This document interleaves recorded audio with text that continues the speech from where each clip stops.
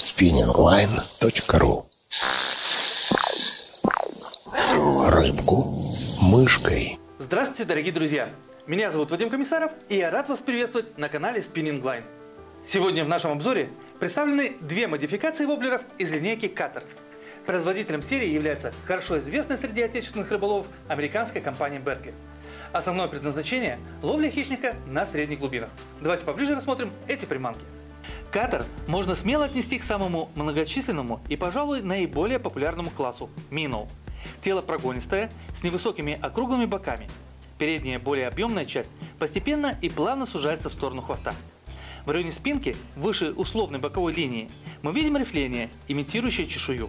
Такая геометрия делает приманку максимально похожей на небольшую рыбешку, обеспечивает хорошую аэродинамику и позволяет быть отзывчивой при любой манипуляции удилищем.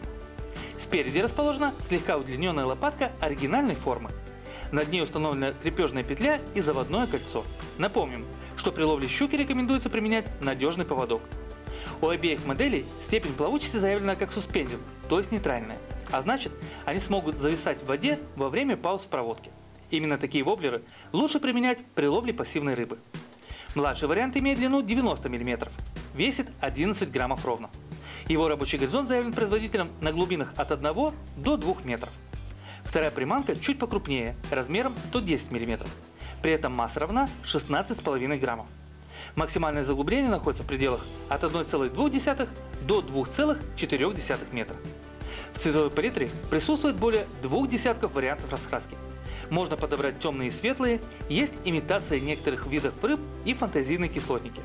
Также имеются модели с полупрозрачным корпусом и эффектом голографии.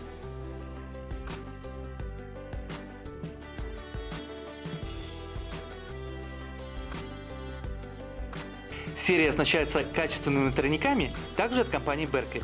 Крючки серии Fusion 19 размером номер 6 в обоих случаях.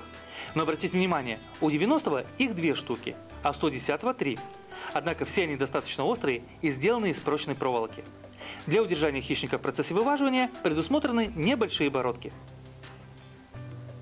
Отдельная система дальнего заброса не предусмотрена, но внутри пластикового корпуса расположены металлические шарики.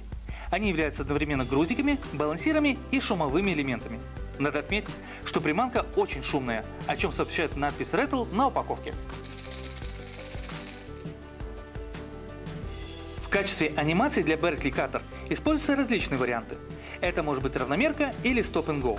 Но как и большинство минов, эти приманки лучше твичить, то есть вести рывковые проводки. В качестве трофеев вас могут порадовать окунь, щука или даже судак.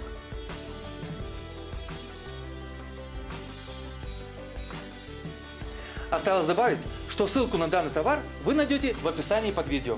А чтобы не пропустить новые интересные и полезные обзоры, не забудьте подписаться на наш канал. А на этом я с вами прощаюсь и до новых встреч на канале Spinning Line.